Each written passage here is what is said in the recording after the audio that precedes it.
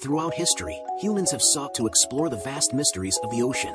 From early diving bells to the innovative creations of inventors, the quest for underwater exploration took shape. In 1800, the world witnessed the birth of the first operational submarine, the Nautilus by Robert Fulton. The Nautilus could descend to a depth of 25 feet, paving the way for future submarine development. Since then, submarines have evolved with incredible advancements in technology. During World War II, submarines like the Gato class could dive to depths of approximately 300 feet.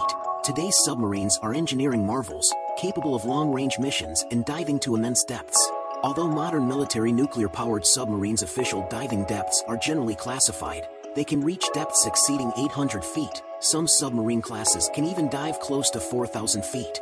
Beyond military applications, submarines allow us to uncover the wonders of marine life and ecosystems. With their ability to surface and dive, submarines continue to expand our knowledge of the ocean's depths.